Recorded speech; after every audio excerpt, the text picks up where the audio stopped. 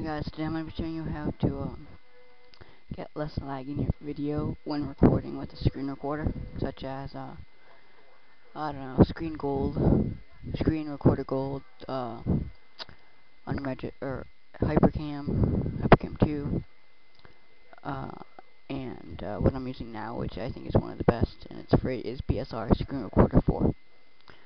Okay. Uh, first thing is, in uh, what you do, you right click, go to properties, okay.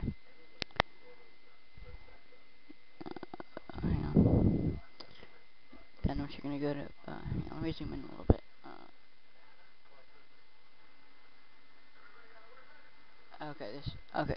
Hopefully everyone can see that then. Okay, then what you do, go across to, uh, settings, then go to color quality,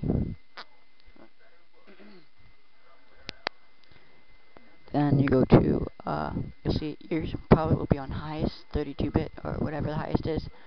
Uh, go to medium, this is on XP by the way, which is, a, so then you go to medium, 16-bit, click that, I already have it, then go to, after that, go to advanced, like I am, like I'm doing now.